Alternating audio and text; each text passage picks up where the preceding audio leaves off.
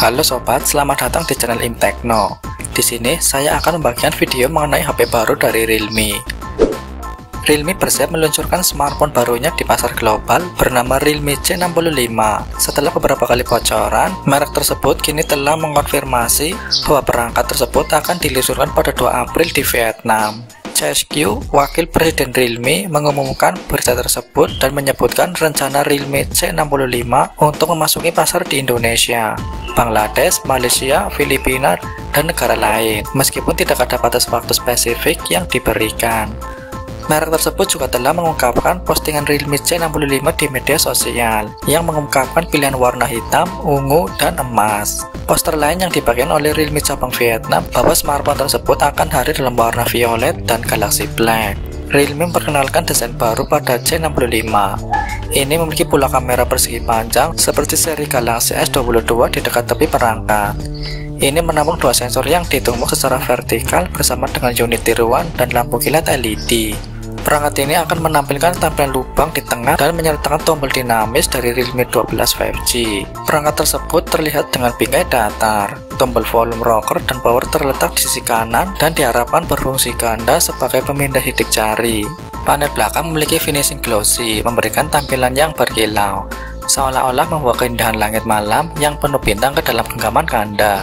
Tidak hanya itu, ponsel ini juga dirancang untuk menjadi salah satu ponsel tertipis di segmennya. Bodinya hadir dengan desain flat dan tiap sudut yang melengkung. Sedangkan untuk dimensi ponsel dikatakan berukuran 165,66 kali 76,1 kali 7,64 mm.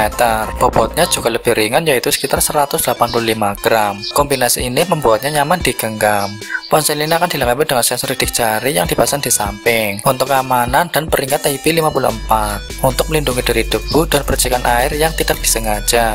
Realme C65 tidak hanya tampil stylish di bagian belakang, namun juga mempesona di bagian depan. Layar Realme C65 menggunakan panel LCD berukuran 6,67 inci serta punya resolusi FHD+ atau 1080 x 2400 pixel.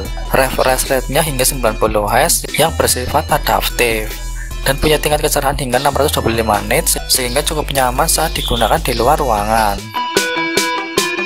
Realme C65 dilengkapi dengan dua kamera belakang yang mampu menghasilkan foto dengan kualitas tinggi.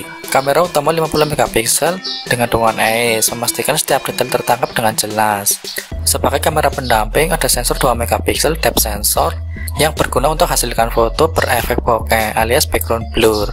Tidak ditemukan sensor lainnya dalam punggung HP ini, sehingga membuatnya hanya memiliki dual kamera saja. Untuk kamera selfie-nya terdapat kamera 8 megapiksel yang sudah didukung oleh EIS dengan format 1080 pixel dengan 30 fps.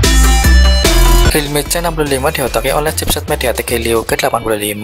Chipset ini menggunakan fabrikasi 12 nanometer dan memiliki 8 inti CPU yang terdiri dari 2 core Cortex A75 dengan clock speed 2 GHz dan 6 core Cortex A55 dengan kecepatan clock 1,8 GHz. GPU-nya adalah ARM Mali G52 MC2 dengan clock speed hingga 1 GHz. MediaTek Helio G85 ditujukan untuk smartphone gaming kelas menengah.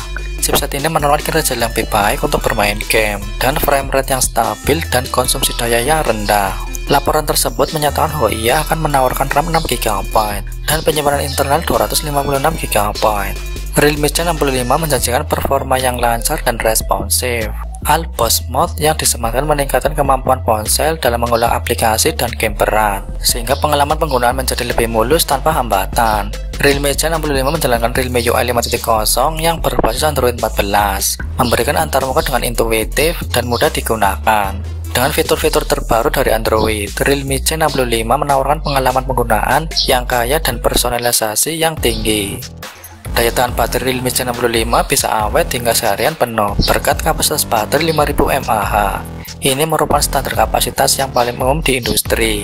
Dengan fitur penghematan baterai AI, kalian bisa membuat ketahanan baterainya lebih awet lagi. Sistem dapat mendeteksi pola penggunaan dan akan menyesuaikan diri secara otomatis untuk memperpanjang masa durasi ketahanan baterai. Realme C65 juga dikemas dengan fitur fast charging 44 watt untuk mempercepat durasi pengisian. Smartphone sudah dilengkapi slot SIM ganda, slot micro SD khusus, WiFi 5, Bluetooth 5.0, USB-C, dan jack handphone 3,5 mm.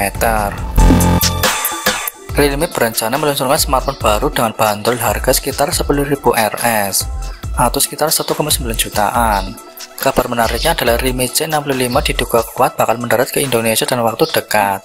Indikasi tersebut diketahui dengan kemunculan perangkat tersebut dalam sertifikasi TKDN sejak 5 Maret 2024 lalu dengan mengusung nomor model RMX 3910. Untuk waktu peluncurannya di Indonesia saat ini masih belum ada informasi dari Realme. Semoga saja tidak perlu menunggu lagi.